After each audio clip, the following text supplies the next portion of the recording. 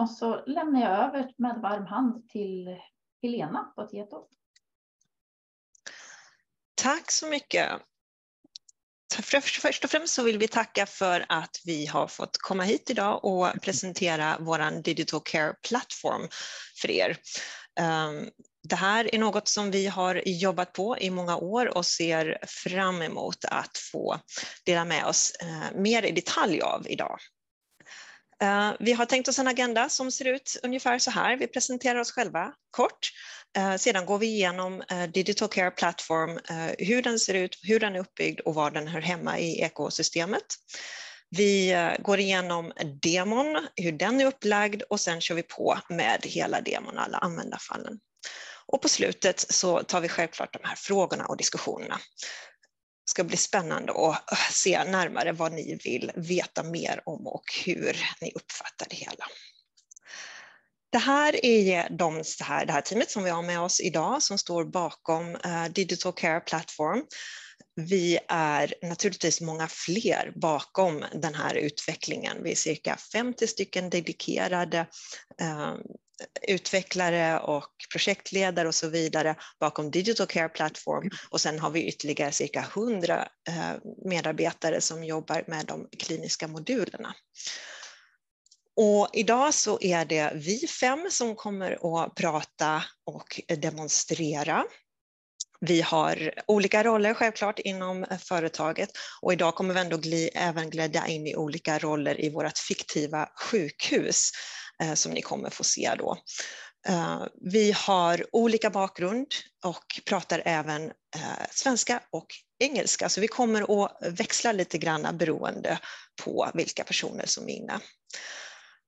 Men nu ska vi få börja här med Peter Brodén Nilsson som är vår Head of Business Development och som ska ta oss igenom eh, dels en kort kundpresentation och sedan eh, upplägget för Digital Care Platform. Peter, välkommen. Tack och eh, trevligt att vara här. Uh, Every Care är en av Nordens största leverantörer på lösningar för hälso och sjukvård. Vi har eh, lösningar som täcker hela vårdkedjan, ifrån kommunal vård och omsorg till eh, primärvård, öppenvård och slutenvård. Vi eh, är idag 1500 personer, lite drygt, eh, som har god kännedom om den nordiska marknaden och den regulatoriska verkligheten som vi lever i Norden, de nationella tjänsterna som vi behöver integrera till och så vidare. Vi har också utveckling både i Norden men också i Polen och Indien där vi har tillgång till de bästa teknikerna som vi ser det på området. Care är ett väldigt viktigt satsningsområde för Tieto Every och eh, vi gör stora investeringar i att modernisera vår portfölj. Och den här plattformen som vi ska visa för er idag är ett av de eh, grundläggande stegen i moderniseringen av vår egen portfölj. På samma sätt som vi också ser att den kan vara en stor möjlighet för modernisering av applikationsportföljen hos våra kunder. Så om du tar nästa bild Helena. Innan jag går in på den här digitala vårdplattformen så, och ger mitt perspektiv på den så vill jag bara prata lite grann om vem jag själv är. Jag eh, känner en del av er här på samtalet sedan mina år på Karolinska. Eh, jag har varit på TT Övrig Care nu i två, lite drygt två år. Innan dess så var jag chefsarkitekt i Region Stockholm och jobbade på Karolinska med IT-strategifrågor. Och eh, mycket av det som vi presenterar här idag är sånt som är svaren på de frågorna som jag önskar att jag hade svar på när jag satt där. Så det har ju hänt lite grann sedan, dess eh, och eh, det är väldigt spännande RFI som ni skickade ut och det är en väldigt spännande eh, framtid som vi går till mötes tror jag. För att eh, det, det är så att det vi ser nu som vi har möjlighet att göra det är att liksom komplettera journalsystemen och specialistsystemen med, med någonting annat vid sidan om. Och jag tänkte börja med att liksom försöka positionera den här plattformen i det stora systemlandskapet för att sedan gå vidare och gå in mer i detaljer på vad plattformen innehåller och hur den är uppbyggd för att ni ska få lättare att förstå när ni ser demon eh, vilka komponenter i plattformen det är som kommer in i, i olika steg i demon. Men ni ser ju och känner säkert igen en del av de utmaningarna som jag har listat här med eh, den tröghet som finns i, i digitaliseringen och innovation idag i vården. Vi såg ett eh, ryck när det kom till covid och eh, de apparna som började komma då. Men det finns grundläggande problem i de existerande systemen som är svåra att, att hantera eh, bara med de systemen i sig själva så att säga. Och det kan vara sånt som att eh, det är svårt att välja som vårdens medarbetare vilken information som samlas in och presenteras. Det är mycket tid som går till informationssökande och dubbeldokumentation etc. Och det är svårt att få de rätta insikterna, driva kunskapen, driva beslutsstöden. Och sen är det också svårigheter i att eh, hålla ihop hela eh, vårdkedjan med informationsutbyte och processkoordinering. Så det vi ser som, som plattformskomponenterna i det här då, det är som sagt under en överskådlig tid så tror vi inte att det ersätter journalsystemen utan de kommer till att eh, vara ett stöd och en, en komplement till journalsystemen. Eh, man samlar ihop data i en regional datamodell där ni i regionen äger eh, datamodellen och har möjlighet att styra den eh, tillsammans i nationellt samarbete och internationellt samarbete baserat på standardiserade arketyper, då i det här fallet OpenIHR. Och den delen, den kan man bygga upp successivt genom att plocka över de dataelementen som man vill ha ifrån den proprietära datamodellen som oftast kommer i journalsystemet och de proprietära datamodellerna som tillhör de olika specialistsystemen, såsom labbsystem, PDMS och så vidare. Eh, på den, regionala datamodellen har man sedan eh, en plattform med verktyg för att själv kunna bygga och realisera de användningsfall som, som verksamheten eh, vill få ut. Och eh, vi ser också ett behov av att komplettera den OpenAI-baserade datamodellen med andra datamodeller, till exempel FIRE för demografisk data, men också eh, forskningsdata i OMOC-format etc och att man också plockar in ostrukturerad data i en data lake eh, för att kunna kombinera många olika datakällor och, och skapa kunskap, skapa beslutsstöd i det vi populärt brukar kalla datadriven vård. Och så på toppen av detta så behöver man ju då erbjuda en säker kontext för att vidhålla patientsäkerheten när man har flera olika system och kanske hoppar mellan dem för att göra olika uppgifter i sin vardag. Så gäller det att man dels gör det enkelt för användaren att logga in på de systemen men också att man erbjuder en patientsäker kontext, så att man vet att det är samma patient man är och jobbar på i alla olika system. Helena, om du går vidare till nästa. Så för att beskriva vad den här plattformen egentligen gör och hur den är uppbyggd så har jag tagit fram en bild här som visar de nio mest kritiska förmågorna som jag ser det i den här plattformen. Och man kan se det här som tre lager. Man har ett datalager i botten, vi har ett funktionslager i mitten och vi har en användarupplevelse på toppen. Om vi börjar i mitten där nere så står det Open Data Model. Så det är just de här OpenUR och den datamodellen som, som ni kan äga själva och utveckla kring. Och det är grunden i, i hela plattformen. Men för att få in data så måste man ha datakopplingar. Vi, eh, både för att hämta in data men också för att presentera data vidare så att det kan användas av andra aktörer, eh, dels i plattformen men också utanför plattformen. Och sen har vi en del som kallas för data enrichment, alltså berika datan. Och det handlar om att använda avancerad analys och AI-funktionalitet för att sammanställa data från många olika källor, eh, hitta de rätta eh, värdena i den informationen genom eh, machine learning och annat och sen kunna presentera det i form av beslutsstöd upp till funktionslaget. Och på funktionslaget i mitten så ser ni det står low code development. Det är ju då de här verktygen som ska vara enkla att använda, antingen för vårdpersonal eller för tekniker hos er i regionen, för att kunna utveckla ny funktionalitet på den här plattformen. Eh, vi ser det som att den funktionaliteten eh, kan man komplettera med redan färdiga moduler eh, som vi har tagit ifrån våra system. Och som jag sa innan så använder vi den här plattformen för att bygga våra egna systemlösningar inom hela vår portfölj. Så vi kommer att komplettera den här med nya lösningar hela tiden. Och på samma sätt, och lika viktigt, är ju att ni också har friheten att kunna använda moduler från andra leverantörer som också bygger på de här öppna standarderna. Vilket gör att det här blir ju ert ekosystem och inte vårt ekosystem som leverantör. Och det är en av de viktigaste delarna i det hela, att man har det kundcentriska ekosystemet. På toppen av detta som vi börjar i mitten igen, så har man den här enade användarupplevelsen där man liksom kan få eh, en enkel eh, inloggning, man kan få en enkel översikt över de applikationer man har på sitt skrivbord och att det kan vara rollanpassat. Och applikationskompositionen här, det består ju av att man kan sätta ihop då olika moduler till en applikation, till ett användningsfall för att lösa en speciell uppgift som, som vården har behov av. Och det gör ju också att ju mer moduler du utvecklar, ju mer du arbetar i plattformen, ju rikare blir modulbiblioteket så att säga. Och på det gör det att man kan snabbare och snabbare bygga nya applikationer för man har mer komponenter att ta av. Du kan se det som, som legoklossar i mitten och sen så på toppen så har man då själva bygget som man bygger ihop. Då. Den sista rutan där uppe handlar om processorkestrering och det är ju att de här applikationerna lever ju inte bara i isolat utan de är ju också en del i en hel vårdkedja.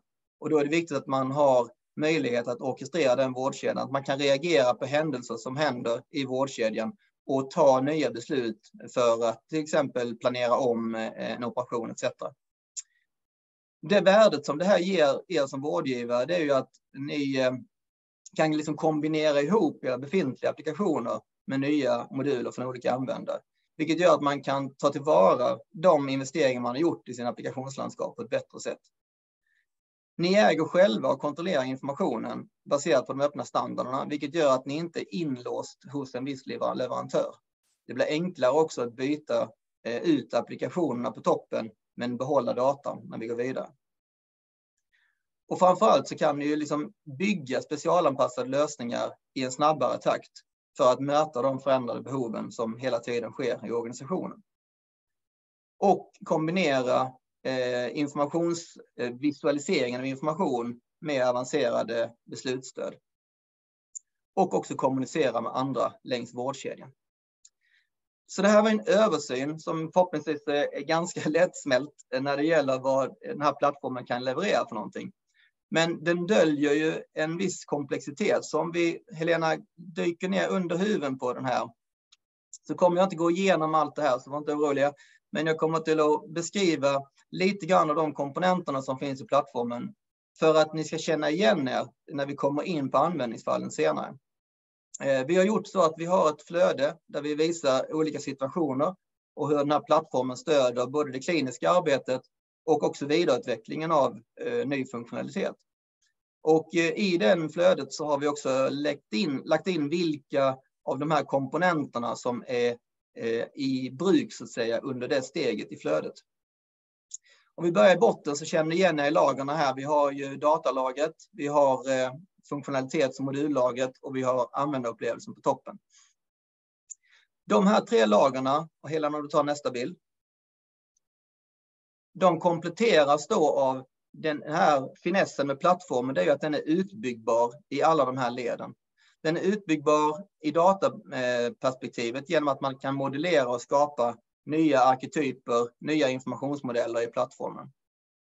Den är utbyggbar i funktions och eh, applikationslagret genom att man kan skapa ny logik med enkla verktyg och man kan också hantera de här gränssnitten mot den, det som man kallar API på, på IT-språk.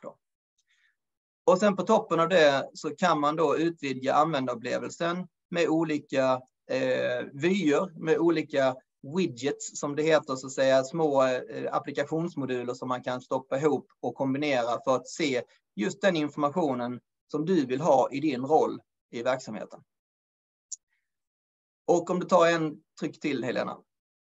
Till detta så behöver man ju också naturligtvis säkerställa att det här kan levereras på ett säkert sätt. Att alla eh, IT-säkerhetsmässiga komponenter är på plats, men också att man har stöd i utvecklingen när det gäller till exempel DevOps-perspektivet och eh, konfigurationshantering eh, etc. Men också att man kan drifta den på ett säkert sätt så att man har verktyg för att övervaka systemet, se till att kunna detektera fel om någonting händer och, och sen snabbt åtgärda dem. Eh, vi vill poängtera några saker som är viktiga för att ni ska förstå flödet i, i videon här, eller förlåt, i demon här lite grann. Och, och det är att när vi nu eh, visar demon så har vi lagt med några sådana här färdiga moduler.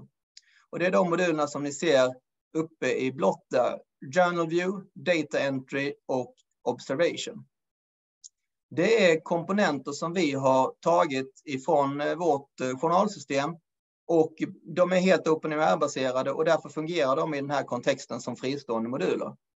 Eh, så att när ni tittar på det som Anette sen kommer att visa så kommer ni kanske att se att de, vi visar nästan som ett journalsystem, men det är liksom de här eh, applikationerna som, som ni har tillgängliga i plattformen och eh, som ni kan bygga vidare på eller som ni kan använda i speciella användningsfall. Till exempel om ni vill se mätvärden i, i Observation så kan ni använda det som en komponent i en, en större applikation som ni bygger ihop.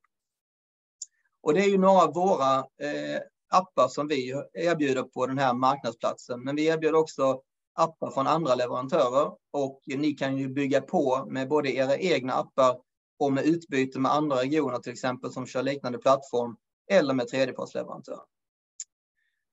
Sen vill jag också eh, trycka på en del här kring eh, i mitten där nere med eh, regulatory services. Och eh, det är väldigt viktigt att den här plattformen fungerar i den svenska kontexten.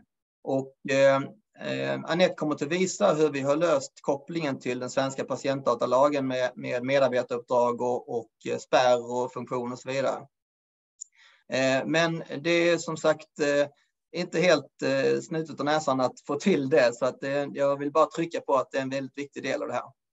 Vi har några andra punkter, Helena, som är, är viktiga att belysa om du tar nästa bild. Ja, just det. Nu har vi fått en eh, bra översyn här utav eh, plattformen och alla deras, dess komponenter. Då. Men när vi går hem idag, vilka är de viktigaste medskicken som du har till, till våra åhörare, Peter? Ja, det första jag vill säga är att, att det här är eh, här och nu. Det är liksom en, en lösning som fungerar. Den finns färdig. Den har varit i produktion i Finland eh, sedan eh, 2019. Och eh, vi har tagit den över till svenska marknaden, eh, anpassat den enligt den svenska kontexten så den uppfyller alla PDL-kraven. Vi har kopplingar till nationella tjänster för IDP och eh, HSA-ID etc. Eh, den kan levereras idag på privat moln hos oss eller hos kund Eh, så att den fungerar i båda kontexterna. Det är ett ekosystem och vi har ett väldigt nära och stolt samarbete med eh, leverantörer som Better som står för OpenHR-komponenterna eh, i den här lösningen och Mulesoft som står för API-komponenterna. Det som är viktigt att säga dock, det är att det här är en referensarkitektur och det är inte så att man köper en box. Det här är inte en monolit i sig själv så att säga, utan det här är en referensarkitektur som vi kan anpassa till, till era eh, behov. Så att om ni har en annan lösning för API management till exempel så, så kan vi hantera det. Och har ni en annan lösning för, för single sign-on etc. så kan vi hantera det. Det jag kan säga också att det är inte bara i, i, i Finland den har varit i produktion eh, som en del i vårt journalsystem. Vi har också lösningar i, eh, i den här eh, arkitekturen som eh, ni använder till exempel på Region Östergötland. Det, det som ni känner som Weird Sync som är då den här single sign-on och kontexthanteringsdelen som vi snart ska se i, i demon också. Så det här är i allra högsta grad eh, verklighet och eh, det är bara att eh, köra på. Härligt. Tack så mycket Peter. Varsågod. Då så, då drar vi igång demon här då. Och för att vi ska få en liten eh, försmak på vad vi kommer att visa idag så har vi den här bilden som kommer följa oss i alla delarna. Vi kommer först att gå igenom användarupplevelsen så att vi får en känsla för hur systemet är uppbyggt och hur det funkar i sina delar och var man ser vad. Eh, sen kommer vi få följa med Annette på ett patientbesök och se hur hon jobbar kliniskt med systemet när hon har en patient framför sig. Vi ska skapa ett open air-formulär och sen ska vi även jobba med att ta in patientrapporterad data. Mot slutet av presentationen sen så ska vi titta på vår marketplace och hur vi kan kombinera och ta in eh, egengjorda appar, våra, våra kliniska moduler eller eh, andra leverantörers moduler. Och helt på slutet så ska vi felsöka innan vi sammanfattar det vi har gjort idag. Vi eh, kommer att då börja med användarupplevelsen så här. Och ni kommer att se eh, uppe i högra hörnet så kommer vi ibland att lägga in en liten blänkare för vilka exakta delar utav eh, materialet det är som vi Eh, åsyftar eller som vi svarar på i demon. Och här nere till vänster, som Peter nämnde förut, så kommer vi, eller i den vita delen av bilden här, så kommer vi att slänga upp lite mm, ikoner som ni känner igen här nu från genomgången, som visar vilken del av Digital Care Platform som är med i det vi visar. Men Annette, jag skulle vilja bjuda in dig här nu till demon. Du är ju sjuksköterska i grunden och har jobbat 20 år i, i vården. Eh, och nu sedan ungefär fem år så jobbar du hos oss som eh, systemanalytiker. Ehm, och du jobbar ju en hel del med Digital Care Platform och även med andra eh, delar i våran portfölj. Um, skulle du vilja ta oss igenom först hur, hur det ser ut när vi först loggar in på systemet och vad vi möter då? Ja, men jättegärna och jag behöver dela skärmen och då är det inte möjligt just nu. Jag tror att du får sluta dela. Mm. Nu kanske det går.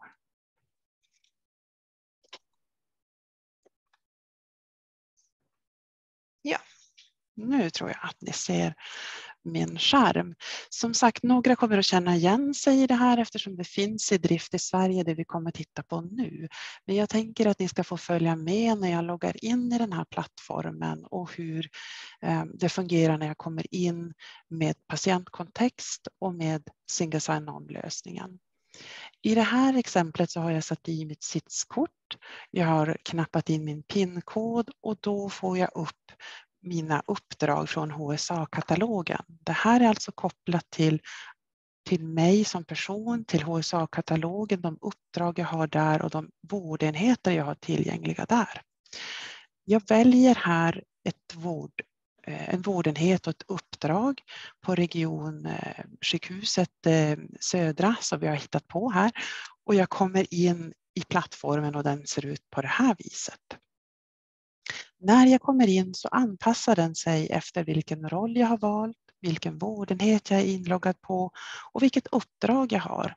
Så att den här panelen vi ser till vänster kommer att kunna se olika ut beroende på vilket uppdrag jag är inne i just nu.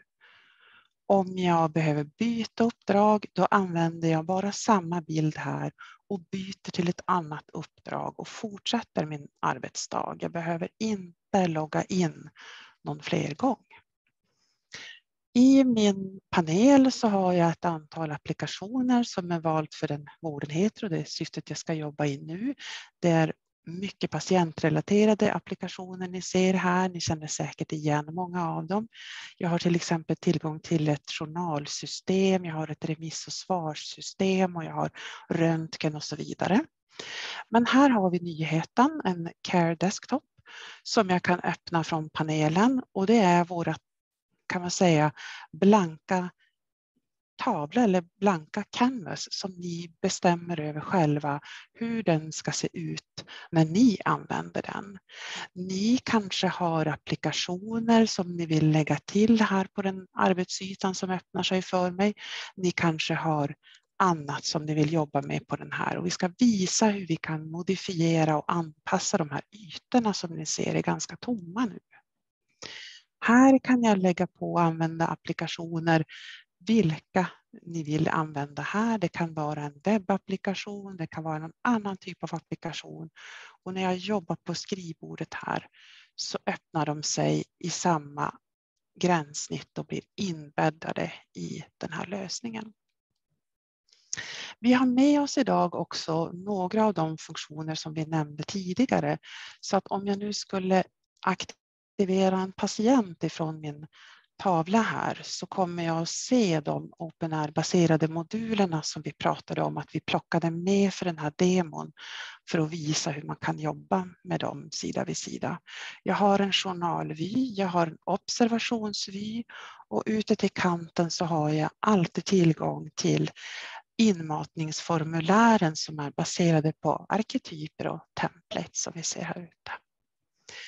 Eh, det är jag som bestämmer hur mycket yta de här får ta på mitt skrivbord och det är också jag som väljer vilka applikationer som jag vill öppna medan jag arbetar. Jag kanske behöver titta på remiss och svarsmodulen medan jag använder en patient här och jag kan också öppna och de olika nivåerna enligt PDL här också och så bestämmer jag hur mycket plats den här får ta på mitt skrivbord.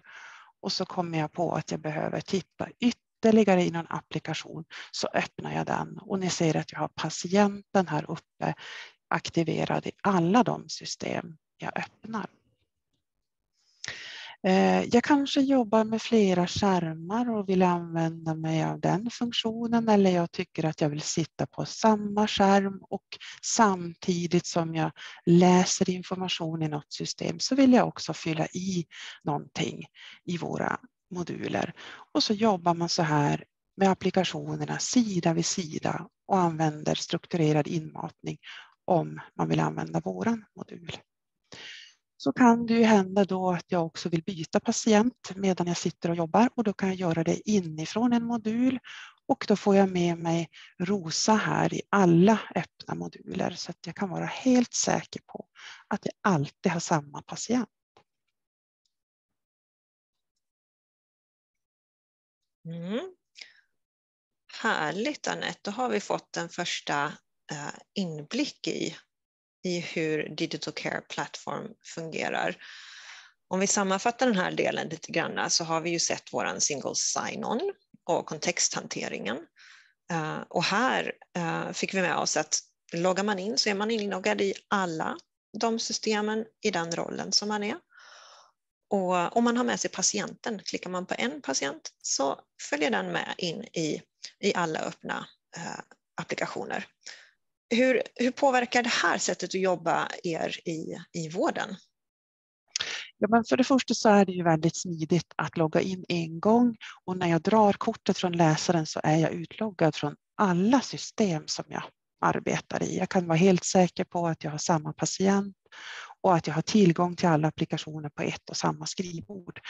Så att jag slipper förfarandet då som man kanske annars har, att man öppnar och letar fram fler applikationer och stänger och dem och loggar in igen och så vidare. Så det här är ju ett väldigt smidigt sätt som jag använder skrivbordet så som jag tycker är smidigast och snabbast. Mm.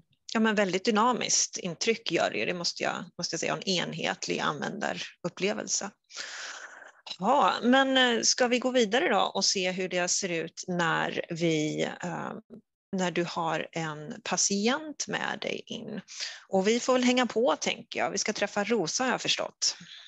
Ja, men precis. Idag ska jag träffa Rosa på mottagningen här på sjukhuset. Det är en patient som jag känner sedan tidigare. Hon har en hjärtsvikt och hon är läkemedelsbehandlad och går på mycket kontroller här. Och som ni ser så har jag öppnat hennes patientöversikt här. Den är ganska tom och eh, det har att göra med att vi har valt att bara ha observationswidgeten eh, tillgänglig här. Men ni kommer få se under vår demonstration hur vi kan bygga på de här blanka sidorna nu med den informationen som vi själva tycker att vi behöver när vi träffar patienten. Men det är väl sannolikt att jag åtminstone behöver journalinformation från tidigare besök och jag öppnar den här journalvyn som vi har med oss nu som en, ett exempel på en OpenAir-baserad modul. Och när jag kommer in i den så är jag säker på att jag alltid är på den vårdenhet som jag är inloggad på så att jag ser den informationen först. Jag kan jobba med att sortera så att jag bara till exempel tittar på slutanteckningar eller på alla anteckningar som finns. Jag kan öppna en eller alla anteckningar på samma gång om jag vill göra det. Här ser vi då hur information kan visas i löpande text och den här informationen hämtas då från OpenAI-baserade databasen så att jag får upp den här i textformat. Och där har du det i textformat. Kan man även se det i, eh, i lite mer grafiskt? Hur, hur skulle det se ut?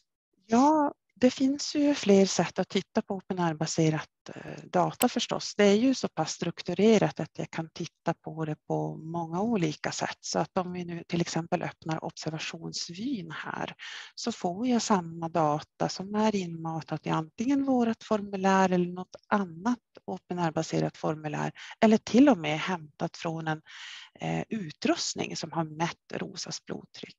Så får jag upp det i en graf på det här sättet och jag har bestämt i mina inställningar att det är de här parametrarna jag vill se i graf och det är de här parametrarna jag vill se i tabellform då. och där jag kan följa hur det går till exempel med Rosas vikt över tid. Eh, är jag på sjukhusets avdelning så kan jag få vätskebalansberäkningar. Jag kan skapa mina egna filter på vad jag tycker är viktigt att se om Rosa. Eller vad enheten tycker att jag behöver se om Rosa. Eller om patienten har drän och katetrar och när de är in och utsatta och så vidare i den här modulen. Ehm, men vi vet ju också att det finns mer information om ROSA och vi kan titta också på hur vi får tag i den informationen.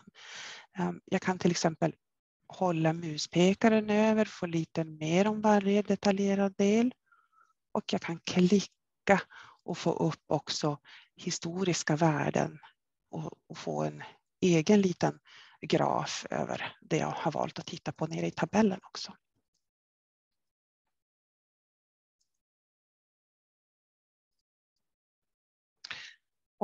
Vi är just nu som sagt var inloggad bara på en vårdenhet och kan bara ta del av informationen som finns på den vårdenhet jag valde när jag loggade in. Det kan ju hända att jag har behov av att titta på information från fler ställen än så. Och här har vi någonting som heter källa och där ser jag att jag har information från kirurgisjukhuset Södra. Men om jag klickar mig ner här så har jag också möjlighet att titta på om det finns information om ROSA någon annanstans inom Region Söderbotten. Mm. En till där ser vi och så ytterligare en, men den kan du inte klicka på ser det ut som. Där har vi en nyckel och ett hänglås. Är den spärrad då? Ja, här har vi kopplat då mot den nationella spärrtjänsten och Rosa känner att hon vill inte tillgängliggöra sin information på psykiatri södra. Den är spärrad och jag har det lilla låset uppe här så jag ser att det finns spärrade vårdenheter och jag har också låset nere på enhetsnivå så jag ser var den här spärren finns. Men jag har också möjlighet att tillfälligt häva spärren här. Om vi nu i dialogen tillsammans, Rosa och jag, kommer fram till att det finns enheter som har eh, information på den här spärrade enheten som vi behöver titta på när hon är på mitt besök. Jag bedömer att jag behöver den här informationen.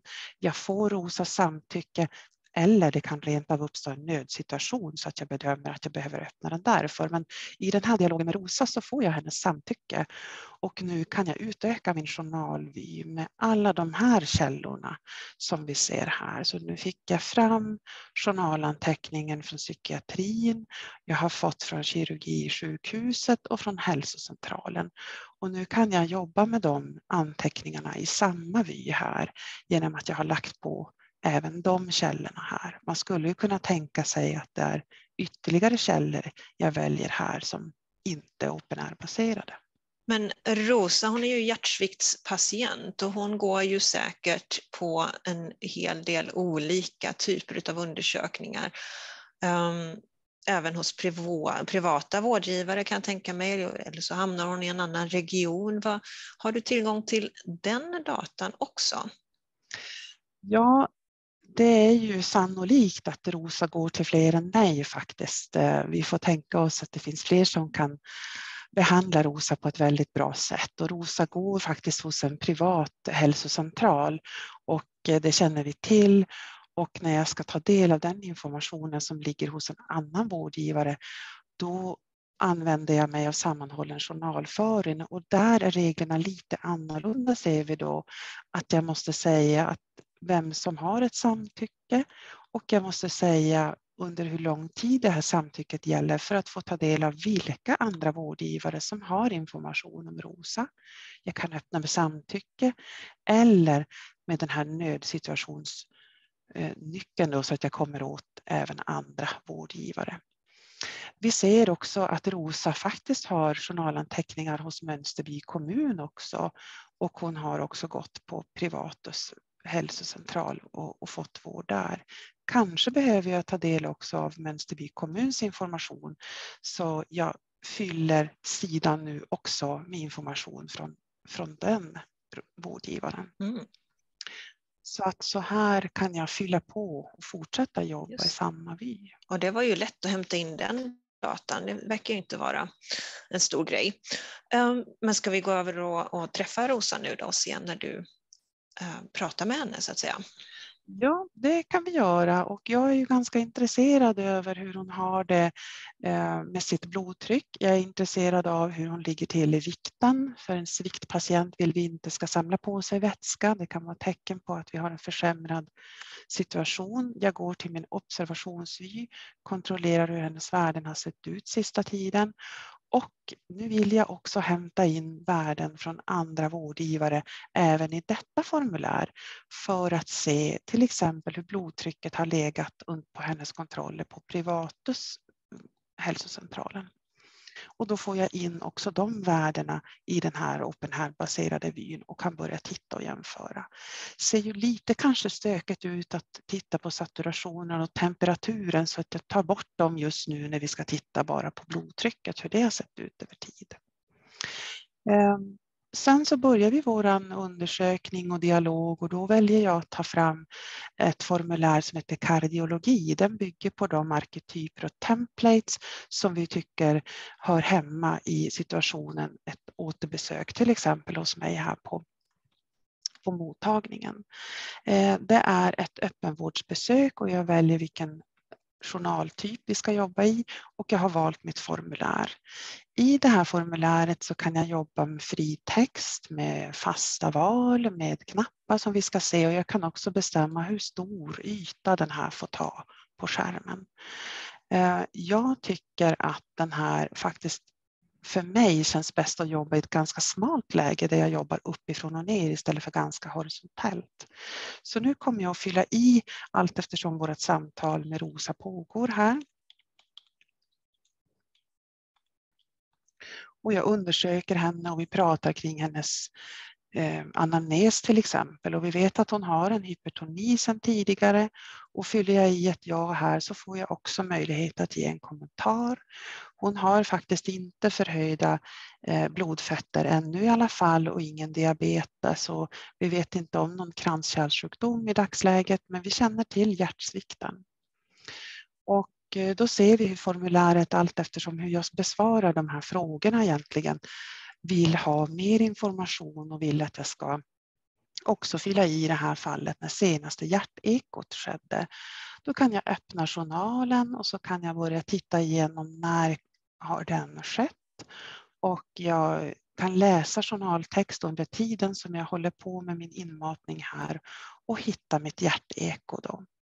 Så den 26 maj var hon faktiskt på ett hjärteko och jag fyller i det då genom min kalender här och kan skriva någon kommentar om jag vill göra det. Eh, inga hjärtklaffsjukdomar kan vi säga att hon har då, men jag vet att hon har också arytmier och vi har tagit ett EKG här på mottagningen och jag ser faktiskt VSI eh, Big eh, 9 så att det är en arytmi som vi ska observera på henne och sen har vi ingen pacemaker. Och ni förstår nu hur jag kan jobba i det här formuläret. Jag kan börja fortsätta dokumentera vikt till exempel. Det tycker jag är mycket bra att vi följer på henne för att jag vill inte att hon börjar Eh, Eh, lägga på sig ännu mer i vikt här och sen så skulle jag faktiskt vilja lägga till mer än jag får upp i formuläret här och när som helst så kan jag bestämma mig för att plocka in fler arketyper i samma formulär. Vi kan ta blodtrycket som förstås borde ligga här men vi leker nu att det gjorde inte det och jag fyller i dagens blodtryck. Jag kan också tjuvkika lite hur har det sett ut över tid hennes systoliska blodtryck sedan vi har träffats. Jag fyller i eh, också förstås det diastoliska blodtrycket och vi kan jobba med vallistorna här att eh, i det här fallet så ligger Rosa ner och jag har tagit blodtrycket på höger arm. Eh, så det finns alltså både urval av listor som vi till exempel har här då där jag har ett urval av KVO-koder som jag vill använda i, min, i mitt formulär i, i sammanhanget hjärtsviktsmottagningen här. Och jag har ja, vallistor av olika slag som är urval eh, från antingen ICD-10, KVO, här kan vi till exempel se att vi har ett urval av ICD-10-koder. Jag kan lätt också hämta hennes permanenta diagnos istället för att söka rätt på den sedan tidigare. Och då får jag också förifyllt här att det är hennes huvuddiagnos och den är fastställd. Om jag vill kan jag lägga till en bilaga till mina anteckningar om jag har behov av det. Jag kan signera anteckningen eller lämna den osignerad eller spara som ett utkast om jag inte känner mig helt färdig med dokumentationen. Ett utkast kommer sedan att visas lite eh, med lite annan text här, men nu har jag då fått min journalanteckning in här. Vi kan läsa den i journalen i löpande text om vi vill det. Vi kan stänga den där helt så vi får lite mer plats. Eh, som ni ser så fick vi upp texten där och jag fick in mitt blodtryck i observationsvyn och nu kanske jag till och med vill dra den här till en annan skärm och jobba på flera skärmar om jag känner för att hantera mina moduler på olika sätt. Så att så här kan jag jobba med ROSA på mottagningen. Härligt det gav oss ju en fin översikt över verktygen. Men var du, var du helt nöjd med ditt formulär där och, och, och, skulle du kunna lägga till någonting om det behövs? Eller hur mycket, hur mycket egenbestämmande har man vad det gäller eh, uh, Open Air-formulären? Mm. Um, det finns ju förstås behov av att eh, ändra dem ibland. Det är ju inte så att vi alltid har precis rätt Eh, formulär för behoven och det är också så att våra arbetssätt ändras. Så att jag tycker till exempel att jag skulle vilja ha BMI uträknat här automatiskt. Jag har ingenstans att ange det och jag kan inte heller eh, räkna ut det på något eh, snabbt och bra sätt. Sen tycker jag faktiskt också när jag jobbar med arytmierna som vi såg tidigare att det är ganska klumpigt att behöva skriva det för hand vad det är för arytmi. Det finns ett antal vanliga arytmier som jag ser här på mottagningen som jag skulle kunna använda mig av. Så att eh, jag tycker faktiskt att vi tar och ringer till vår systemadministratör, superuser Carso, uh, who speaks English and uh, get some help to um, modify this form. Hello, Carso, are you there? Yes, hello, Annette. So Hi. Let's let's start start uh, if you stop the sharing and uh, I can then take it take it over. Thank you. Uh, so I will now log in to the digital care platform with a different different role than Annette. So I'm I'm I'm uh, log in to the system administrator and you can immediately recognize that there is a different um, configuration and different possibilities in the in the navigation. And now what I would like to do is that I would like to change the, the form and the archetypes behind. And uh, here you can see our OpenEHR better tooling. And then we have also administrator configuration, what we will need to configure all the different things in the, in, in the digital care platform. So let's start and open uh, the modeling tool for the OpenEHR. And here we can change those Annette's forms, uh, what, what Annette just, just uh, saw. And um, there we have um, Annette's form, which is called um, cardiology form. And I will now open that cardiology form, um, which then uh, opens the uh, low code tool and contains all the information what is now uh, inside that form. Uh, the cardiology form contains the contextual information and then it contains uh, all of those different headings what uh, what Annette were actually filling.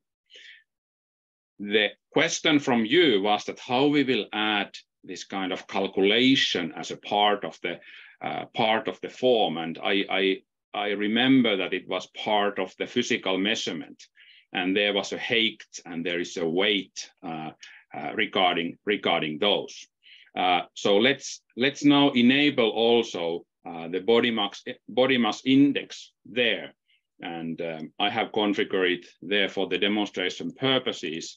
Um, and let's let's then add the Swedish language there, and then then also I can see that the the field is hidden. So let's let's make that visible. And um, then there was a, a, different kind of interaction and calculation needed. So uh, we can see here that uh, we have we have uh, we are fetching the information from the weight. We are fetching the information from the from the field width. Um, and then we have a formula here configured at how, how the uh, BMI index is actually calculated. So now I have um, put that there and configured the form, and now I will, I will publish, publish that as a part of the digital care platform and data entry. So I believe it should be visible for you now, Annette. Okay, so you want me to try already? You can check it, but then I, I, I.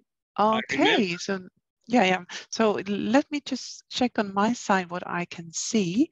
I will just double check that I have the body mass index and looks good. But could you also add the arrhythmia uh, subsets of code I sent you because I would need the most common ones in my form as well. Yeah, absolutely.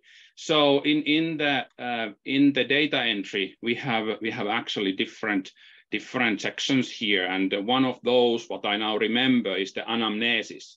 And now in a data entry, uh, what is possible is that we can dynamically configure different kind of forms as a part of the of the other form.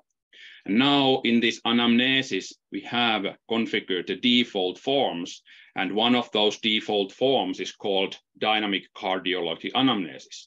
So let's jump to that dynamic um, cardiology anamnesis form and change that a little bit. So now I, I, went to the forms and then searching the dynamic uh, cardiology anamnesis, um, and it contains contains the contextual information, but then also the cardiology anamnesis um, template and archetype there behind. Those templates and archetype in a digital care platform can be configured uh, with, uh, with the archetype designer. And uh, here we have different kind of places where you can actually store the archetypes and templates for this demonstration purposes.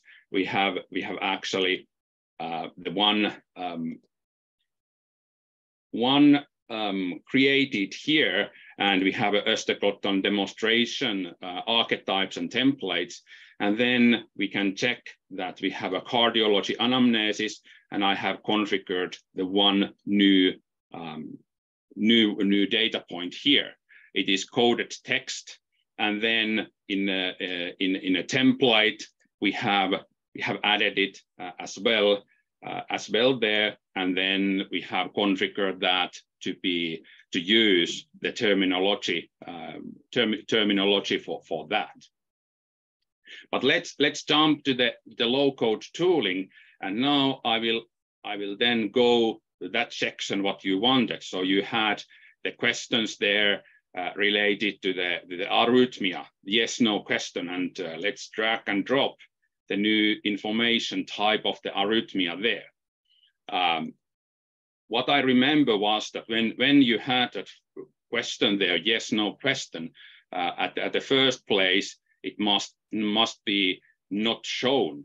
So, uh, so let's, let's configure that to, to be hidden at the beginning.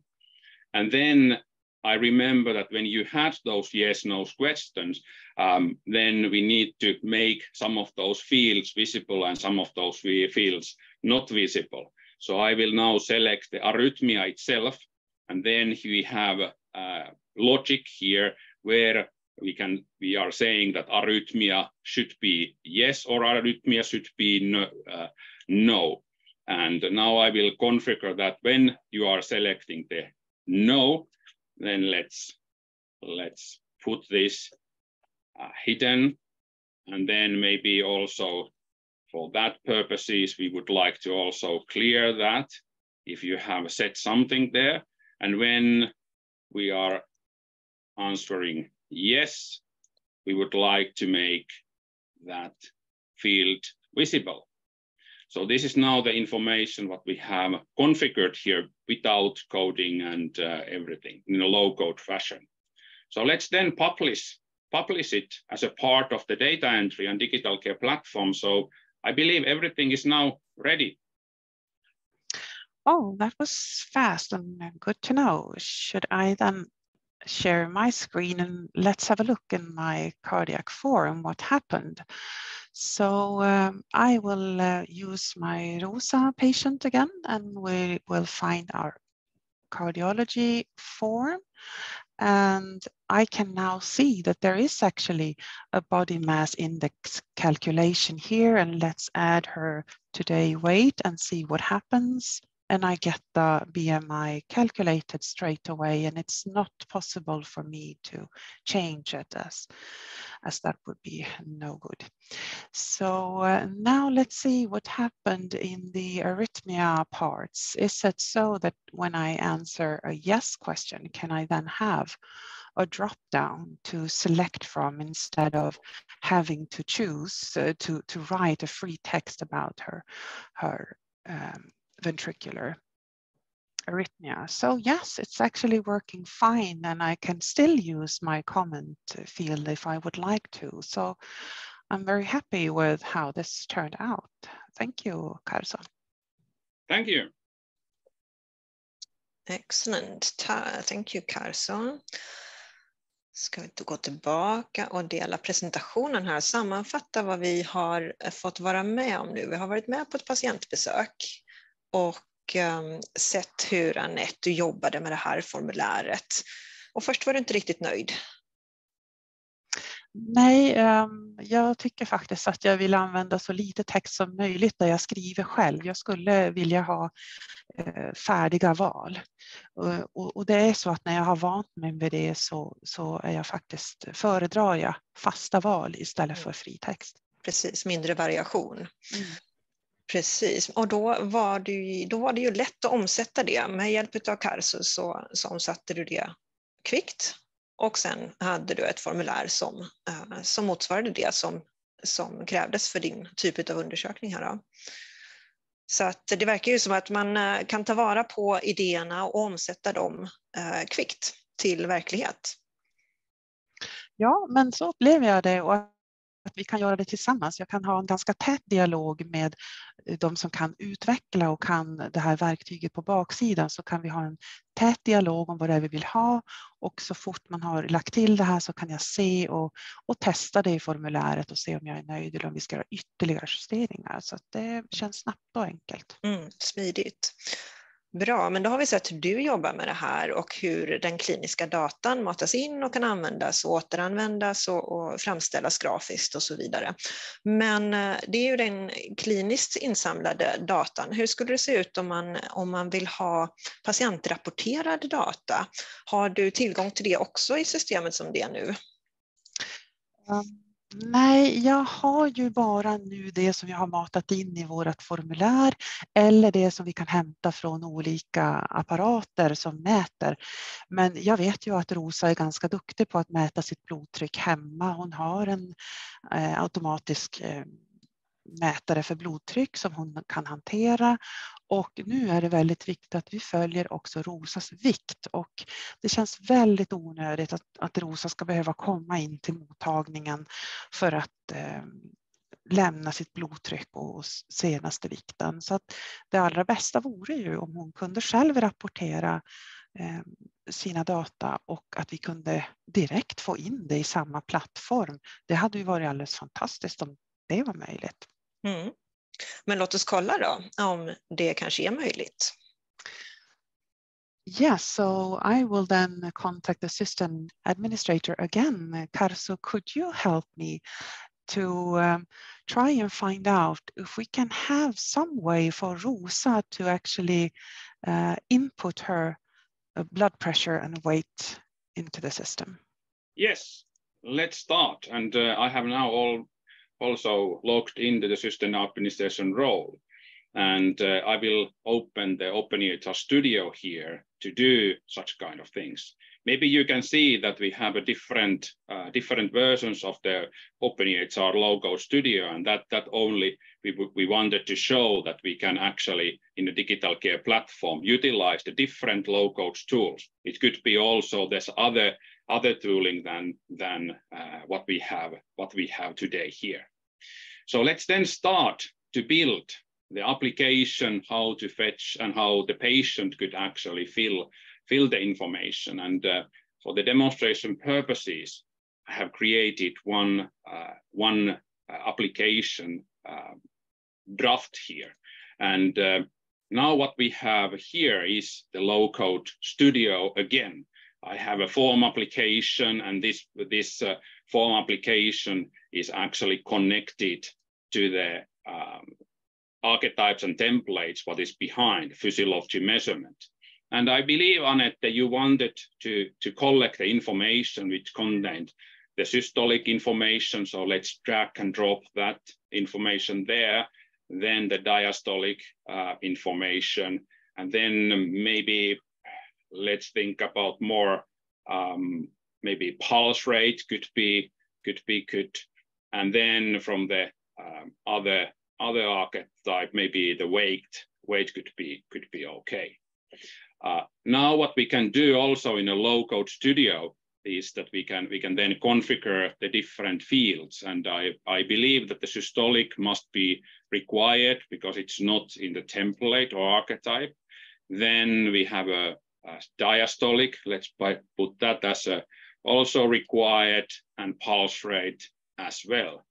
I believe, yeah, the weight is, is still, still required in the, in the archetype itself. So now we have small application and uh, when I've saved this small application, um, I believe that it's ready to use.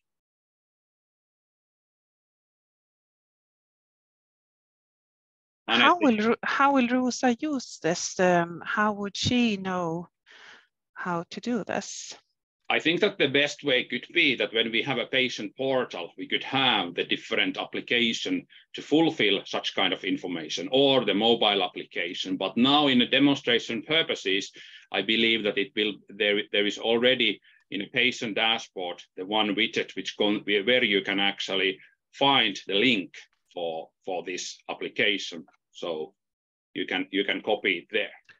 Yes, okay. So for this uh, demo, we have actually created just a way for me to uh, create a link so that I will now play Rosa, that we will pretend that I am now Rosa and I somehow perhaps using uh, your existing patient portal, I will just use this link and get uh, the ability to open the form and fill in my data here. So this is something that would be, of course, not only a link, it would be embedded into a mobile app or into your patient portal. So uh, this is uh, her values for today. I will just add them here. And the weight um, is, um, again, 79.5, and she will save them being Rosa now reporting this to me.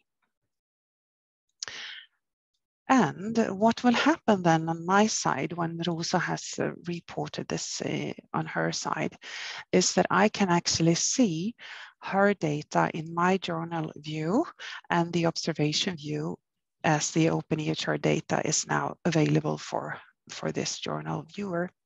So I can tell already now that I have a, a patient reported data here. We have a specific journal um, entry for that, and I can read her data in a text format, or I can open my OpenEHR observation-based um, module and read her values in here. So this looks really good, I, I say, but um, it would be actually even better if we could have this separate from, from the data I already have here. I, it's good that I could look at Rosa's um, self-reported data here, but I think I would prefer to have a way to separate that from, from the data that we as clinicians add. Can you help me with that, do you think?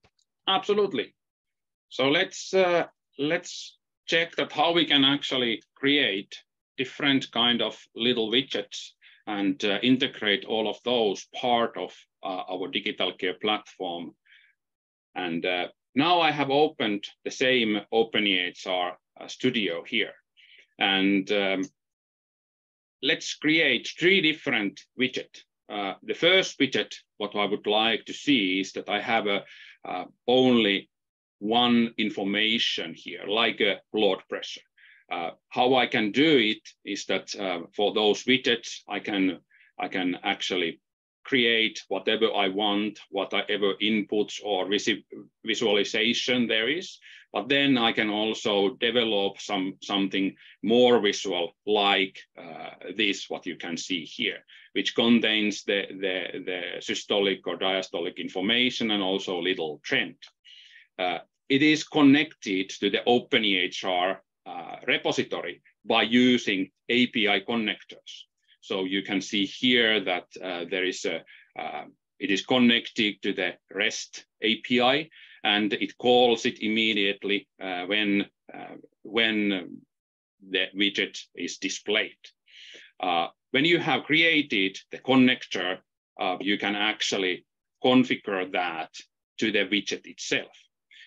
you, you see here that what source is used, and this source could be now the OpenEHR source, or it could be any vendor's API, any any any API what is what is available. And then you you you you can see that the systolic and diastolic information is is put as a parameters there, and then we are also receiving the date time. So this is the, the easiest easiest thing, but I, I think that that is not all what what you want, Anette. Uh, I remember that we we were actually uh, fetching and asking the different information from the patient at the same time. So now what I have configured and designed here is that I have a three different visualization, uh, the blood pressure, the weight, uh, and, and, uh, and the pulse. And um, what you can do when you are defining and creating and developing such kind of things in a low code fashion, you can fetch the information from the different sources at the same time. Now in this demo, we are fetching the OpenEHR information for the pulse rate, for the weight and blood pressure, and then we have configured it in the same way how we have how I showed it uh, previously in, in, in here. And uh, of course, you can then change the, the UIs and everything in a low code fashion as well. Uh, but that is not maybe every time enough and uh, we can also create even the bigger charts. So here you can see the example of the chart, and uh, we, we have connected that to the, our, our OpenEHR data source, and then fetch even more information for, for this. So I have now those three different widgets created in an OpenEHR Studio. How I can now configure those for you, Anette? So for that, we have uh, the con admin configuration tool from the digital care platform. And uh, let's log in for that. And um, this is the admin configuration tool, what anyone without deep knowledge of the technology can utilize. Here we can have, here we can find out different kind of digital care platform configurations. And now what I would like to do is that I would like to configure the Anette your dashboard. Uh, I can see the patient dashboard here, and then I can see the observation and this data link, what you just used. Uh, I will edit this and uh, let's add a widget. I can select the OpenEHR widget. I believe now I would like to add three of those. So let's, let's put three. And then the last one. Um, for the first one, I think I would like to choose this blood pressure. Um, then what I just created, then I would like to get this patient data, which contains more information. And then for this one, I would like to have this more bigger chart. Let's make that chart even bigger because it's I remember that it was bigger and let's make also those one a little bit more bigger. So um, now I'm saving it and I believe everything should be ready for you, Annette.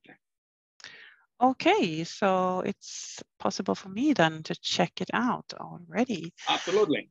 Yeah, good to know. So we're back here at my desktop and it's, as you can tell, um, looks as usual. So I will activate my patient Rosa again. And now my patient overview is actually populated by the widgets that um, we had uh, built ourselves here.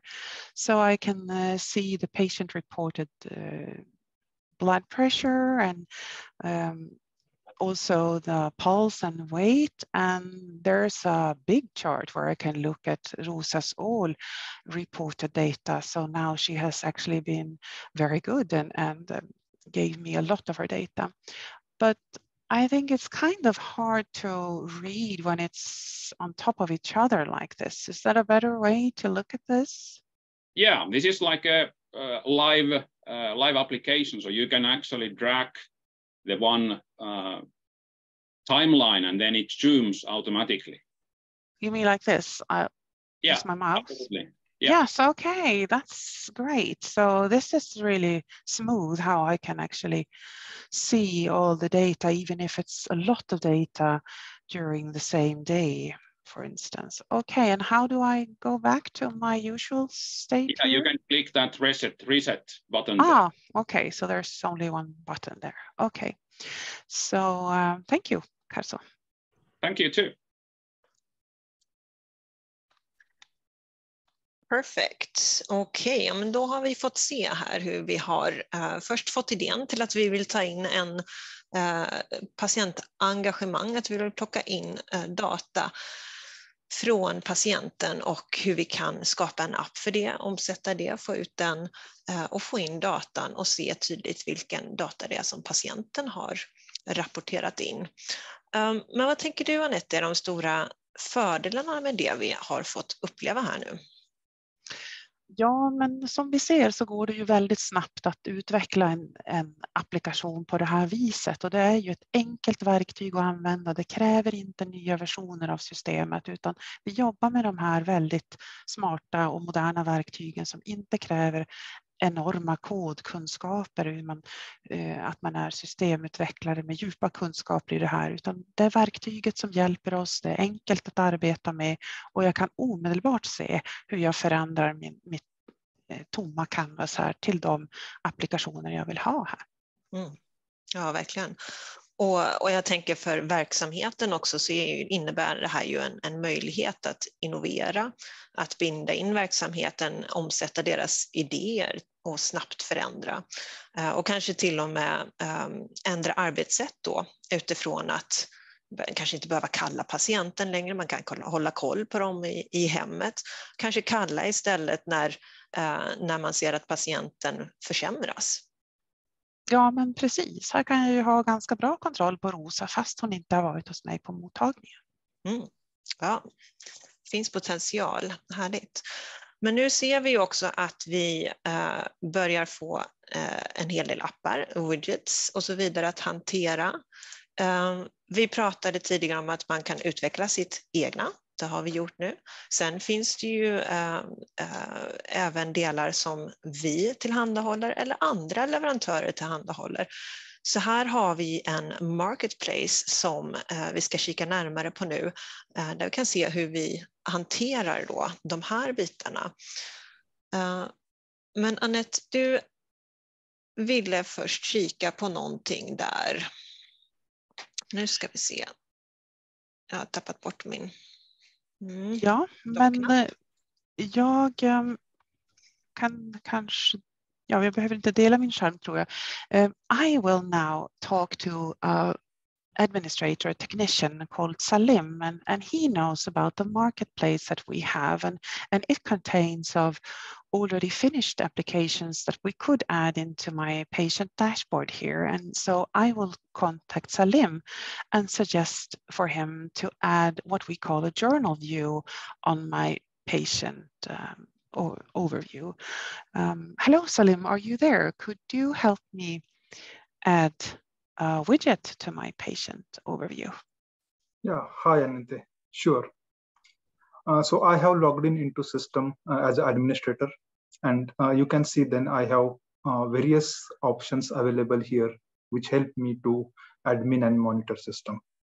So as Anette mentioned, that uh, in a marketplace, there is new widget available and we want to uh, take that in use. So what I will do is I will log in into uh, our one tool called System Monitor.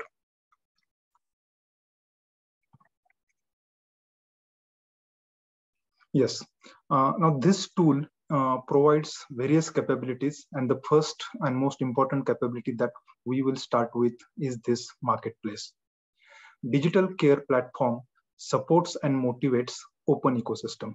So we have already seen that how uh, Karsu has uh, done open EHR modeling uh, during this demo and Anette has taken those modeling, um, new model data uh, in use immediately. So then this is the second example uh, of open ecosystem where uh, we have this concept of marketplace where any developer from any company can push their widgets, their apps into this marketplace, and uh, we can take them use into our system.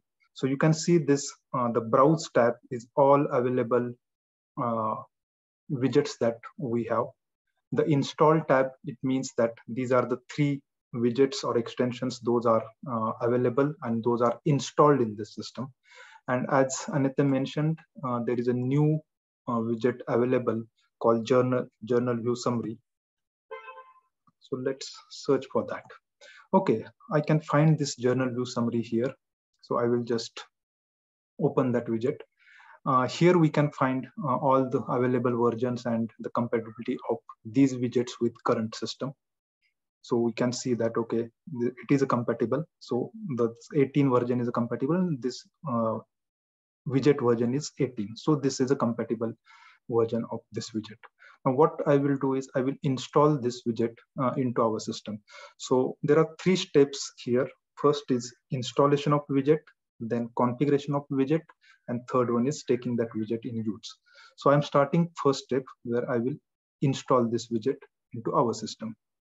So what uh, it is doing currently is that it is downloading all the artifacts, all the things those are needed for this widget into our system and now it has installed. Now uh, let's go to another tool uh, called admin configuration. We have already seen this tool little bit when Karsu was configuring this.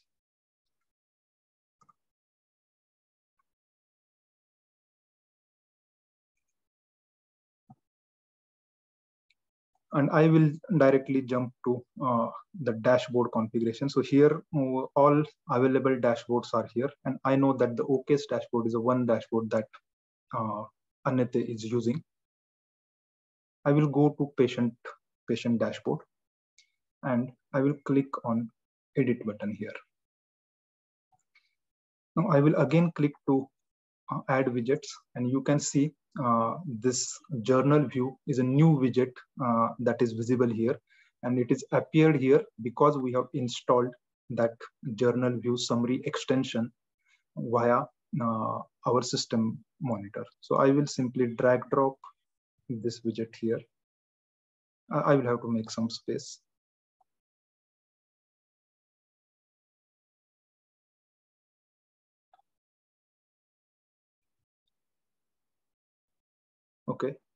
And uh, I have saved this information. Uh, so Anette, it should be available uh, for you to use. Okay, already that's um, good. Um, I think you need to stop sharing. Yes. So that we can have a look at what it looks like from from the front now. So we then had um, my uh, previous uh, patient uh, overview. And if I now activate ROSA again here, let's see what happened in my view. So we have all my previously made apps that we had, and we also have now a journal view. And this is a ready application which gives me a fast overlook over the latest journal entries without having to open the complete journal view modules. So from here, I can see what are the latest uh, notes and also the diagnosis uh, and I can click right on one of them instead of having to open the journal view to look at everything. But I guess that too much information makes it hard to find what's uh, important for me to know. So I think my patient overview is starting to get a bit messy and, and that's a lot of information here. Is there a way we can clean this up um, a bit, Salim? Um, yes, definitely. There is the way. So for that, I will share my screen. Uh, I am here in the same uh, tool, this uh, admin user desktop where we configured uh, the widgets. I will select the same dashboard that uh, Anette was using. I'm now editing this dashboard. And uh, there is one more uh, functionality that we have here is that you can see this plus button. what it does is that it adds a completely new tab like this homepage. So I will be adding new tab and probably she is interested uh, in uh, collecting all widgets which are related to patient reported data. So maybe uh, we'll give name as a patient reported data to new tab. And then you can see uh, that new tab is created and we will add all those uh, patient data collection related uh, widgets in this page also. And then we will clean the home page. So I know that uh, those widgets are related to uh, OpenEHR. So I will drag drop these OpenEHR data uh, widget three times. So the first widget uh, is probably what uh, we want to see. It's the same one, the with blood pressure.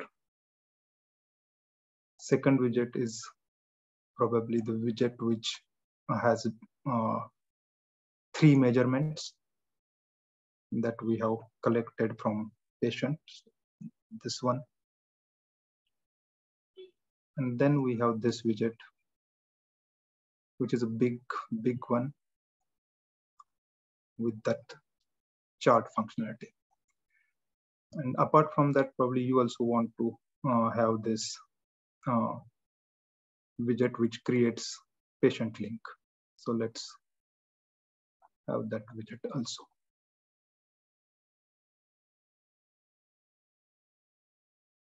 Okay, so I have configured all these widgets and I will save this information here.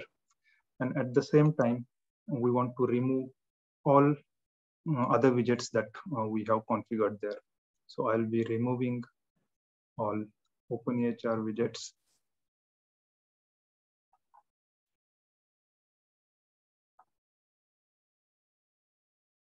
and I'm saving this. So I have saved this thing. I have configured uh, now new dashboard for you. So Annette, actually you can uh, go and uh, open your patient again and check. Mm, okay, so you are done already. So, okay, I will have a look we'll see from my point of view what it looks like. So I'm back here with my Rosa patient and I will activate her again and see what my patient overview now looks like. So ah, that's a much cleaner start page where I have only two of the widgets now. So that's a very clean desktop now. And then I can click my tab patient reported data. Oh, and everything is here that's patient reported. So this is a very good way actually to uh, collect data in separate tabs. Is it possible to have more than one tab, Salim? Could I have also one for diabetes and one for the card cardiology uh, widgets I would like? Yes, definitely. So you can have as many uh, tabs as you want in that dashboard. Ah, that's great. And how does it work? Is it only for me or is it for all my colleagues? How does this work? Uh, yeah, so there are now uh, two options available. So option one is we can assign uh, this created dashboard uh, to you as a user. And then in that case, it will be available only for you. And uh, we have also another concept called role-based dashboards. So the another option is that we can create this dashboard and we can assign this to the role of nurse. Now, in this case, uh, all these dashboards will be available to all nurses in the organization. So this is how uh, okay, thank you. I think we'll start with me having this and I can show this to my colleague nurses and then we can discuss if it's something that everybody would like. And uh, since we know now about the tab functionality, we might need more than just the patient reported tab to, to have very clean overviews of the patient. So I'm very happy. But um, this is how it works when things are well. Salim will now try and um, break something from behind and we will now see how we can troubleshoot our platform in a very easy way and with uh, with uh, tools that you will soon see. So while I'm talking now, Salim is actually breaking from behind and I'm continuing to working with Rosa on my screen. So if I then try to continue my work with Rosa and open, uh, let's say I want to uh, use the form again, it's working still very nice. So uh, still not broke, I guess, but we can continue working and see if I will find an error and another um, need to contact my administrator technician Salim. Salim, uh, I think something went wrong here. What can we do? What happened? Yeah, sure. So uh, let's check. So I will my I will now share my desktop.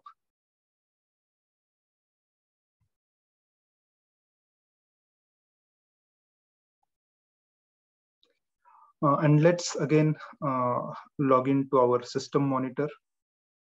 So system monitor is tool where we can monitor our system.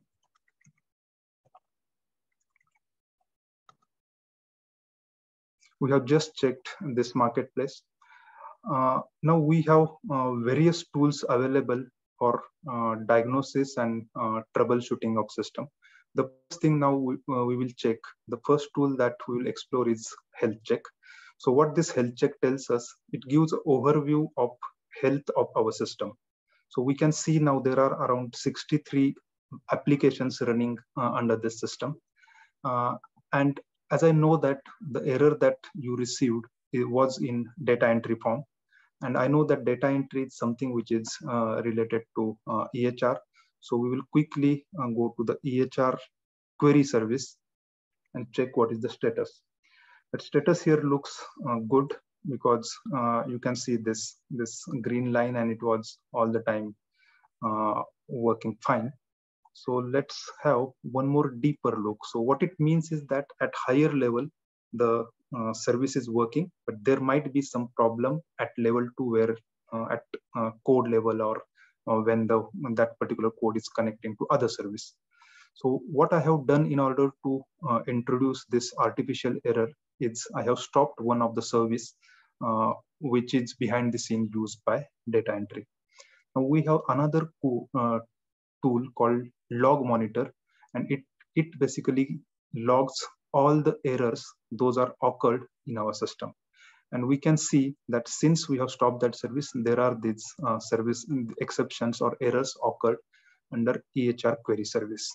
And this uh, clearly says that there was an error in establishing connection with some another software component which we have stopped. So now I know that from this error, something is wrong with the service which is uh, being uh, connected by EHR query service. So what I will do, I will go back and I will again the start that service which I have stopped on purpose. Okay, now this service starting will take some time. So meanwhile, uh, we will explore uh, few other things. So we have found problem in log monitor level. Uh, we have another tools uh, tool called uh, Dynatrace, which is a third-party tool. Uh, this tool gives us even deeper level troubleshooting capabilities. So let's have a look. since now we have already that service is being started, let's take some different service we know we have something called extension service uh, in our system. So we can see mm, uh, this extension service link here. Now I have clicked that and uh, I am now entering into a little bit and deeper analysis here. Uh, it provides us a dashboard where we can check, okay, what is the response time, what is the failure rate, uh, what is the throughput, and what is CPU consumption, and all those things. So uh, all performance parameters those are applicable for this particular service are visible here. I can see uh, everything is good here. Uh, but if I want to go to one uh, level deep where I want to check uh, what is happening at code, then I can uh, go to this view where we can check the code level things. And here actually you can see that this extension service is making SQL calls to our database. So we can have troubleshooting uh, at very deep level using this tool. Now let's check its service. It started uh, already. Okay, service is started. So before we uh, go back to Annette and check uh, if that thing is working, uh, the another point that I would like to uh, show you is that we are talking about this open ecosystem and these things, and we have already seen that uh, how it is possible to uh, other people to contribute uh, or other people to integrate with this system. So uh, I have opened mm, the API definition of uh, our EHR service. So this is the main service which is behind this data entry and putting data into our clinical data repository and all those things. So this particular uh, Swagger page uh, gives the complete API definition in order to insert, in order to add data to our clinical uh, repository and in order to fetch data to repository. So if anyone wants to develop any app or anything, then they can uh, easily use these APIs and develop their apps around these uh, APIs. So this was the another capability that we have in these toolings. So now uh, I will hand over to you, Annette, and just check if uh, data entry form is working again or not. Okay, thank you for your help. I need to continue working with Rosa here. So let's see what it looks like now from my side. So we will again um, activate Rosa and it seems like everything uh, looks better so far. And let's try to open my form again. And yes, it's working. I'm happy and we found the error and could correct it pretty fast. Thank you. Thank you.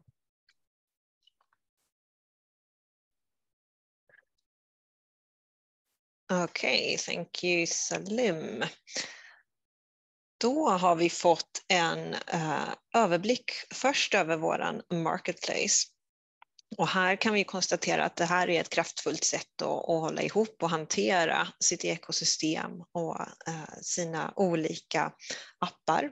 De kan vara publicerade och skapade av eh, er själva eller av oss eller av andra leverantörer. Sen fick vi uppleva hur systemet eh, gick sönder Eh, och hur Salim då kunde gå in och felsöka på ett, eh, på ett effektivt sätt. Först kunde du se hur han fel, eh, vet det, hade en, en preventiv monitorering av systemet och kunde se att det mår bra Eh, och eh, kan fånga upp fel som inte har eh, påverkat verksamheten ännu. Men har det gjort det så kunde han ju gå in och spåra och identifiera på ett effektivt sätt vilka komponenter det var som orsakade felet och kunde avhjälpa dem. Och då har vi som ni ser nått slutet på det vi skulle demonstrera. Så låt oss sammanfatta vad vi har sett idag kring vår digital care platform. Och sammanfattningsvis så är ju det här en mycket användarvänlig upplevelse. Eh, håller ihop hela kontexthanteringen, eh, single sign-on eh, hela ett sömlöst integration av PDL av alla Eh, appar och alla verktyg som man kan tänkas behöva i de olika rollerna i verksamheten. Det är flexibelt uppbyggt eh, så att vi har eh, möjlighet att dokumentera på ett strukturerat sätt. Vi kan anpassa alla ytor och återigen anpassa oss efter verksamhetens behov. Och det går att bygga ut också utifrån vad verksamheten behöver, utveckla egna appar, lätt publicera, jobba med patientrapporterad data, jobba i sitt low-code-utvecklingsarbete, eh, integrera eh, våra eller andra leverantörers komponenter. Så det avslutar vår presentation och vår demo. Vi tackar så mycket för att ni har lyssnat så långt och är öppna för att ta frågor här nu då. Ja, vi har samlat på oss en del frågor i chatten här. Nu vet, jag vet inte om det är någon fråga som har hunnit bli besvarad redan, men hur vill ni göra? Ska vi ta dem uppifrån och ner? Vill ni att jag läser upp dem och ni svarar eller? Så kan vi göra. Ettan kan du hoppa över ser det ut så. Då hoppar vi över ettan och går på tvåan. Regarding yes exactly. Let's do this part in english so that we have everyone with us. Yeah regarding uh, your products and extensions in addition to the better platform can we pick and choose between them? How flexible is the bundling? What functions systems components are dependent on each other and what is independent? Yeah if i if i take that one um, so uh, in this demonstration, we have demonstrated uh, the better low-code tooling and all of that. But the digital care platform in, in a high level, you saw, saw that we, we can actually configure different kind of modules together. So uh, from the digital care platform point of view, any vendor's application, any vendor's low-code tooling or modules can be included as a part of the, of the platform itself. What it means in a UI point of view, uh, you saw, saw that those openEHR modules and dashboard there today, but it actually, if you have any web application, for example, developed with a SMART on FHIR or something like that, it can be configured as a part of the digital care platform UIs. Or even uh, Annette showed really quickly at the beginning of the demonstration, you can have also legacy desktop application as a part of the unified user interface. So all of those things from the web technologies to the, uh, to the more traditional desktop technologies can be part of, of the system uh, from the, any vendor. The third question is also about flexibility. Um, your front end or portal and such, if uh, they can be connected to other CDRs, then better. So if we have better and want to add another CDR in our ecosystem, is it possible to do that? Yeah, I think that the, the, um, the key point now here is the openEHR ecosystem. And uh, when we are following the openEHR standards, then we can choose also the different CDRs.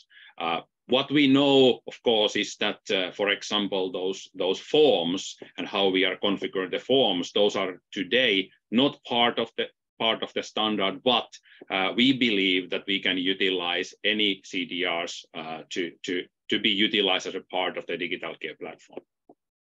Mm-hmm. And then there was an internal discussion. Uh, the display disappeared for some of the audience. Uh, but there we have the fourth question. Uh, during the demo, Annette added info about a previous measurement by finding, finding the note separately and reading and then manually documenting in the forms she was filling in. Could you link to that information instead or automatically fill in that info that she in the demo added manually? Yeah, that is actually really good, really good question, and uh, we did not demo that. But what you can actually do is that each of those, let's say, archetypes, which are part of the data entry, uh, you can actually, Annette showed you that you can see the previous data. there is also possibility to recycle the data from the from the previous uh, uh, previous ones. So it is possible without going to the manually manually to the day, let's say journal view or other other uh, observation. Uh, in the data and it is possible to recycle the data from from the previous ones. Yes, good question. Yes, and then I'll try to translate it. Sophia, you, you may help me if I translate it wrong. when you doc, it's also about what Annette demoed, I think. Uh, when you documented in a form and put what you called an archetype in the form, was it an embedded template that you did that you, or what did you do? Yeah, maybe you mean when we are actually dynamically acting yeah, when, when she was like, "Oh, I need more information yeah, to document here." Yeah, yes. yeah. How it how it actually works is that normally when you are in a in a openEHR Studio, when you are defining the form and everything, there is a possibility you to make it quite static. Uh, what we have done in a data entry is that when there is a some kind of heading, for example, this physiology measurement, we have done the configuration behind that, uh, that what are possible templates, what you can actually dynamically add. And this observation, it was, uh, it is called like a dynamic observation template, which utilize then the observation archetype behind the scenes. And then in a data entry application, you can actually see all of those configured, pre-configured um, uh, dynamic uh, templates and forms for that uh, like under under that uh, heading, and then you can actually dynamically add those there. But you are right, we are not adding the archetype, we are adding the form and the template and archetype at the same time there. Okay, thank you. Uh, question number six then, about patient reported data. Uh, will all the reported data uh, end up in the dashboard or, or, can you select which of this uh, information that uh, is shown in the UI? Um, for example, a sensor for blood sugar that creates a lot of data. Uh, you don't want that all of that data to, to end up in the user interface. Uh, you rather want to pick it up for visuali visualization when you need it and not immediately just expose everything. Uh, yeah. Did I understand this right, Jenny? Yes. Yeah, how, how it works, the flow, when we are creating those widgets and when we created those in, in um, low code studio, first you will design that how the widget looks like. And then the other part is actually behind the scenes, that which kind of data the widget actually fetches. And there, when you are defining this kind of openEHR view, you will define the openEHR AQL query. And in that AQL query, you can de define that, okay, how much data you would like to fetch there, um, when, for example, um, you, can, you, can, you can combine the data from the different archetypes or templates, and then of course put the time range or anything what you can do in AQL queries. So answer for that question is yes, you can, you can limit the information what will be displayed, for example, in the in a dashboard and a widget. And then there's a question about marketplace, and I think you, Karianti, answered it in the chat, but maybe you want to say something about it anyhow. Yeah. uh, where the repo is hosted and if it can yeah. be forked. Yeah, so the question was that is it possible to, let's say, participate in, in a repo? How I answered is that each of those extensions what Salim installed, those are totally independently developed. So you can, any vendor uh, or Tietoevry or other, uh, other, other parties or even the customer developers, you can develop the extension by yourself. And then only thing what you need to do after that is that you will package that and, and provide standard metadata like a name and version and stuff like that, maybe description, who has implemented, what is the company or, or, the, or the municipality who has implemented it. When you have packaged your code, then you can actually deploy it part of the marketplace. And then it becomes visible uh, there and it's, it's possible to install as a part of the digital care platform. And next que question also um, about the marketplace. Maybe Eric, it's a long question. Maybe you can say something about it yourself. Okay, uh, it's about the, the role you're looking for. So, uh, um, let's see, where is the question here? Yeah, uh, some American EHR vendors have app stores where they can control what app providers are allowed, and they also charge a fee for them to be allowed to be in the App Store. Is that how you envision Tietoevry's role, or is it rather the healthcare organization that will control the marketplace and associate financial agreements with the app providers? Or do you have some other approach? So kind of a business question. Yeah, so maybe I jump into this one then. Uh, Carlsberg is thankful for that, I guess. Uh, no, I think that this is, uh, as we know, uh, a new entry to, to this market. Uh, we will have to work out the business models together with the customers. Uh, so no concrete answer to that one yet, Eric. That uh, will depend on, on, how we do it. we all know that the MDR classification and the intended use of, of the different parts of the ecosystem is of importance here. So some kind of a regulatory uh, review and, um, and, clarification of, of uh, what the purpose of certain applications are uh, will be needed. And, and then also um, the, um, re reimbursement for launching these uh, will have to be part of, of the business model. So no definitive answer, but uh, we're looking forward to discussing this with you and see what your point of view is on, on these things. Thanks. Then a quite technical question. Maybe I can hand it over to you directly, Pia? Or do you want me to read it?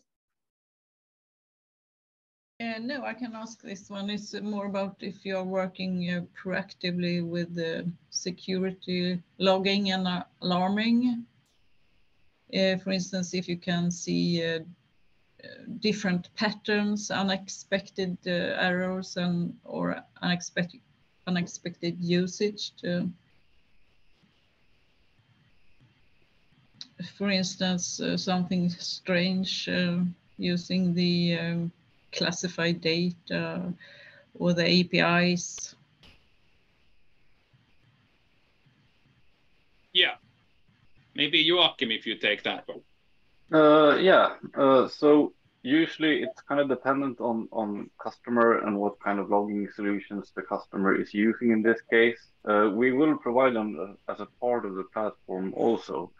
And the logs are produced at multiple levels. So you kind of have the application level logs from all the components in the in the solution. We have kind of seen the how you can use those uh, when you're trying to resolve errors. Uh, but at the same time, you can push all the logs that you produce from the components uh, to the logging solution.